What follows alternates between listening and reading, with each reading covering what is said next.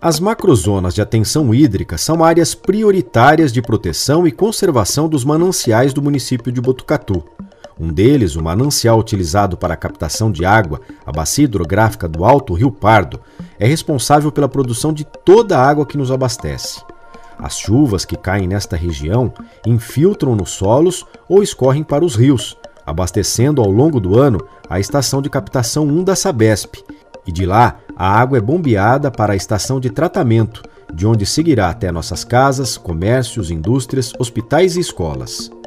Parte destas águas fica na zona rural, sendo usada para a irrigação agrícola e para a manutenção dos sistemas biológicos do manancial, ou seja, a fauna e as florestas nativas da região.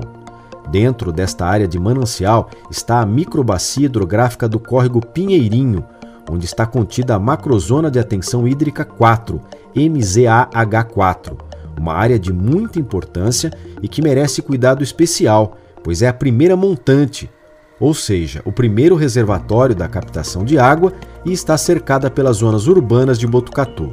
Mas por que isso é importante? E como isso influencia em nossas vidas? Em primeiro lugar, está a questão do abastecimento e produção da água para o município. Sem a preservação ambiental desta região, toda a cidade pode sofrer com a falta de produção de água futura, aumento nos custos, racionamentos e piora na qualidade da água oferecida para a comunidade. No momento, na MZAH4 já existem propostas aprovadas da ocupação do espaço por loteamentos e, por isso, a consequente urbanização da área precisa ser regulamentada. No projeto de regulamentação de uso e ocupação do solo para a macrozona de atenção hídrica número 4, estão sendo propostos lotes imobiliários de 250 metros quadrados, e como resultado dessa ação, em poucos anos ocorreria a impermeabilização de 100% do solo da região, prejudicando drasticamente a captação de água para toda a população.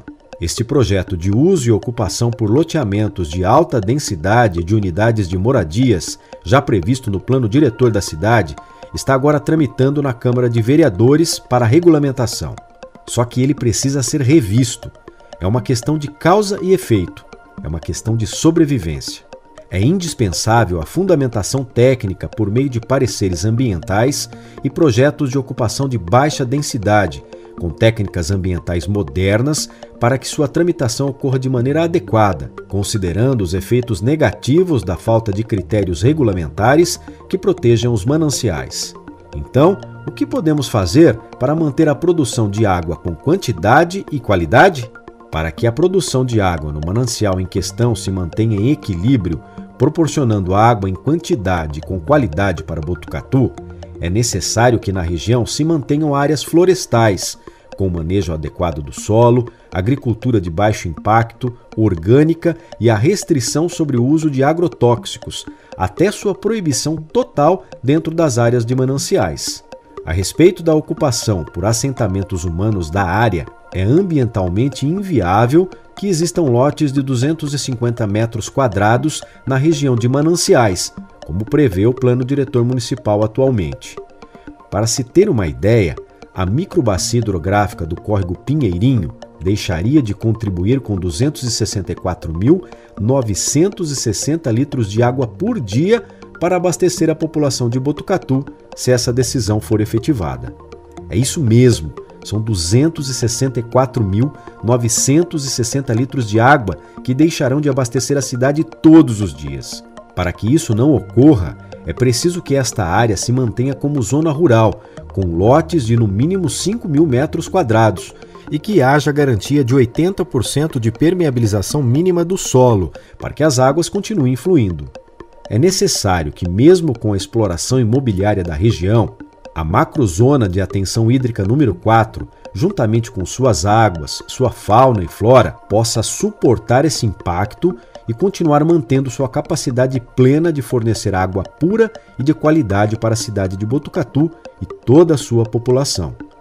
A especulação imobiliária precisa ficar em segundo plano nesta região, pois sua proteção é estratégica e vital para a cidade. O destino das águas de Botucatu está sendo decidido. Temos que nos conscientizar. Você vai continuar lavando as mãos para a especulação?